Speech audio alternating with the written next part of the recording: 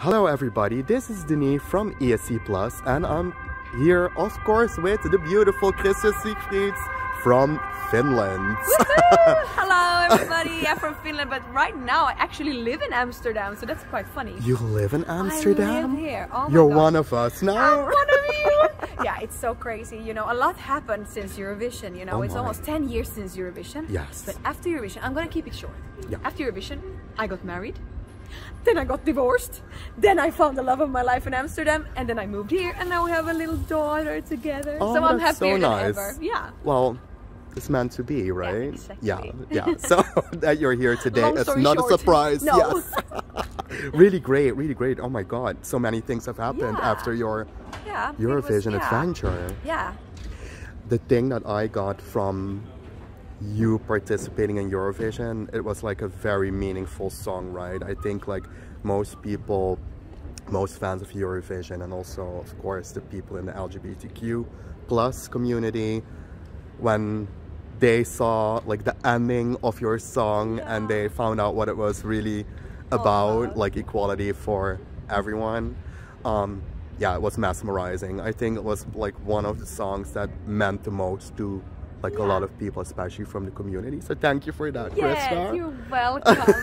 and I love that community. And, and it was really like, we just wanted to show that love is for everybody. Mm-hmm. Love, equality, you know, and it's just a simple but such an important message. hmm Yeah. And it's really cool that you actually like, yeah, made it like happen on stage. Yeah. So that's really cool. Um, so since that last, since we saw you on stage, Yeah. um, how do you think you have grown in those years? Because it's, you said it's like 10 years. Like I get, almost 10 time flies when you're having fun and when you're doing Eurovision, right? exactly. I know. I know. Yeah. Yeah. Wow. Yeah. As I already told you, like a lot of things has happened. Of course, I've grown so much as a person, Mm-hmm. and I've become a mother. Which also So changed. that also changes you and your priorities. But uh, yeah, what can I say? I've been through a lot, but I'm really at a happy place at the moment. I'm really happy with my life, my new life here. and I still have Eurovision, you know. Yes. Eurovision is always closed, and even though it was the pandemic and we couldn't perform anywhere or Mm-hmm. meet anywhere, Eurovision was always still closed, and Eurovision was always there in other ways. So that's the uh, that's the thing that has been staying in my life always. Yes, yes, Yeah. and now there is the second season.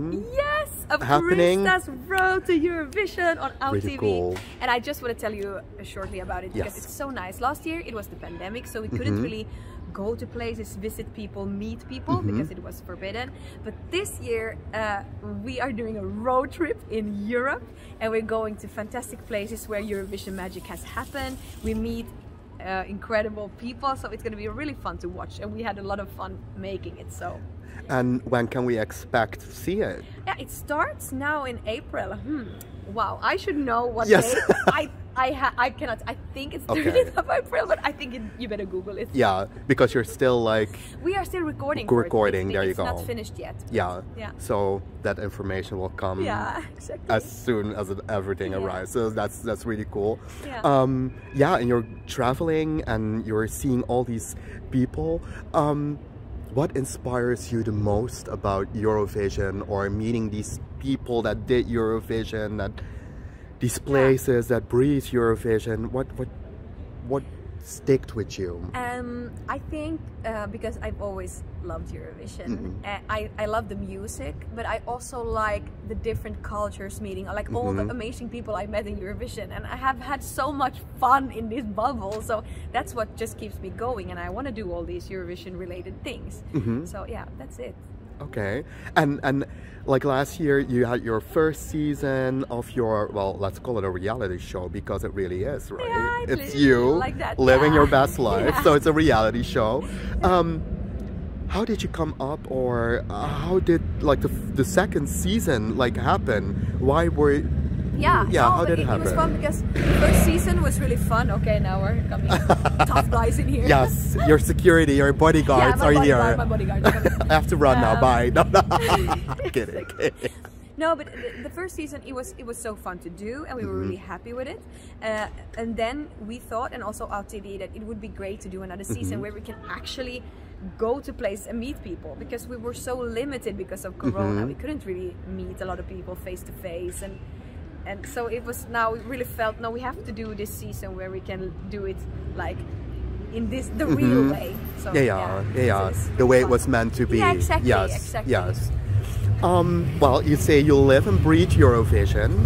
Um, My other bodyguard. yes, it's really security. It's Yeah. security, people. Look, at security. Um, would you be open to do Eurovision again, like as an entrance? Yeah, that's so funny because a lot of people ask me that, and I, I really love Eurovision, and I would love, a part of me would love to do it, but it's also it's not so easy. There, like there's a lot of things that has to to be right. Like you have to have the right song, you have to have the energy for it mm-hmm. because representing a country in Eurovision is like crazy lot of work, mm-hmm. but it's also so fun. I mean, that's the best thing I've ever done. So I think maybe if, if the circumstances, everything would be right, and I would have the right mm-hmm. song and the right thing that I feel like this, I want to do this. Yeah, then I could definitely do it. And would you do it again with a meaningful pop song, or do you want to do a ballad or a dance, or? Yeah that's that's also a thing that i don't really know because i think if i would do it again no I, I would love to go for something energetic because that is my persona. But but i don't know the style would probably be different because i don't want to go back and do exactly the same Yeah. thing. But uh, you never know.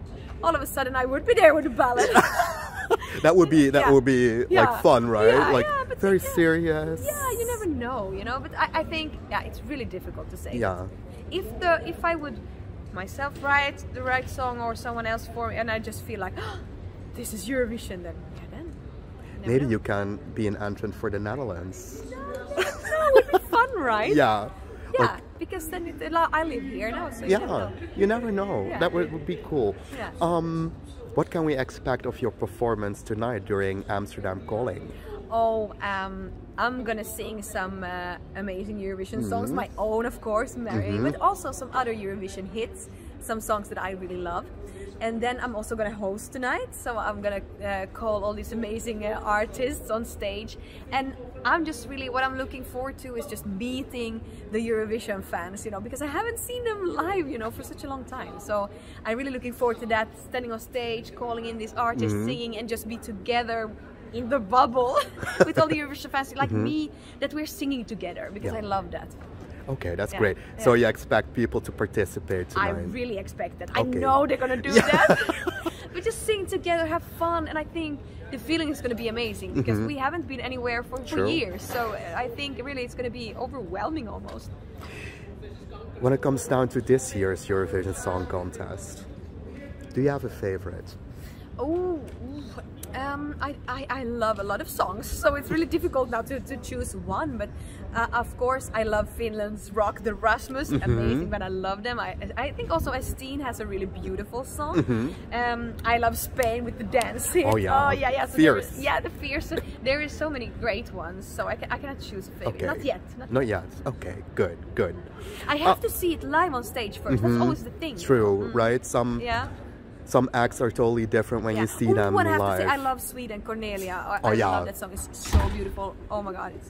The lyrics are so beautiful, Yeah, and and yeah. the way she performs is really yeah, I nice. the performance was also really, really Yeah. nice, really, really beautiful. So I, I love that. Um, one last question. Yeah.